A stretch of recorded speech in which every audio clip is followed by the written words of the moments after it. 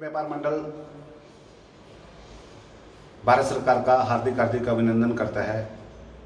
तो हमारा सुंदरनगर में सुकेत व्यापार मंडल की तरफ़ से व्यापारियों का एक बहुत बड़ी अपील है कि भारत सरकार द्वारा जो है वो टैक्स जो लगाए हैं और जितने भी हमारे बिजली के बिल हैं, हम ये नहीं कहते हैं कि हमारे पूरे बिल माफ़ किए जाएँ, पर भारत सरकार से हमारी गुजारिश है कि हमारे जो बिल हैं, वो दो महीने के जो है, वो माफ़ किए जाए। और जितना भी व्यापारी वर्ग है, इस टाइम जो है, वो मंदी से जूझ रहा है।